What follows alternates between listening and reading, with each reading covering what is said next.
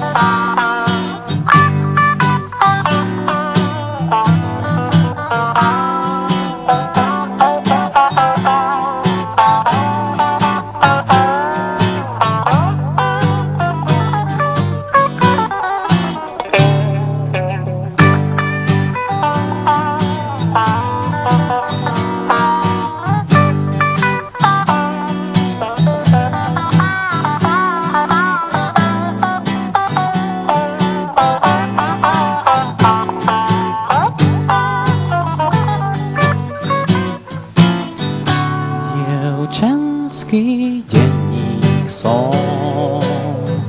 Našiel oprave, čítam v ňom, čo je napísané na stránkach ružových a krásne voňavých písmom drobučkým.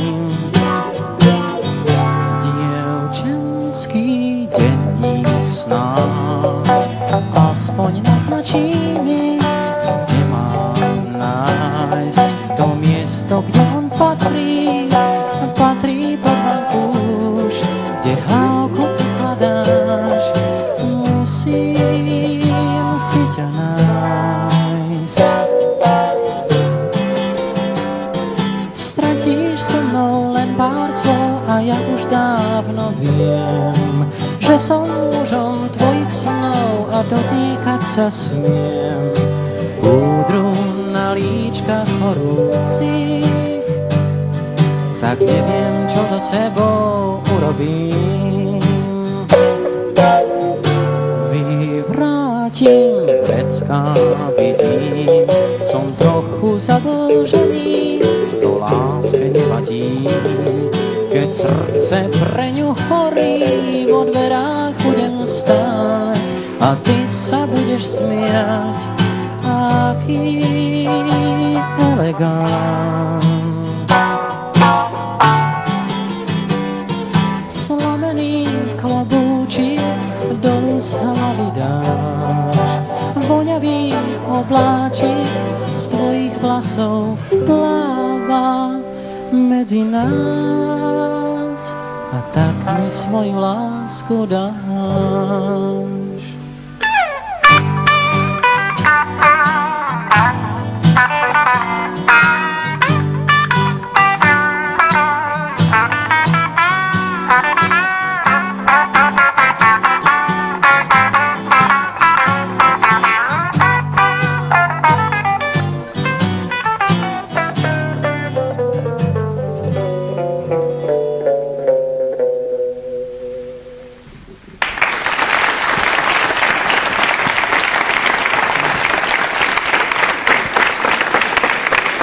A my teraz budeme a my teraz budeme pokračovať ďalším výsluchom.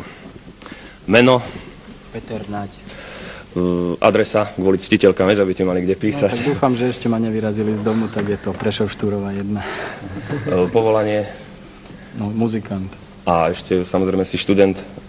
No tak je tam jedno povolanie, ale to dúfam ešte nedojde. ja tak. Uh, Ešte nám predstav prosím ťa tvojho, tvojho kolegu.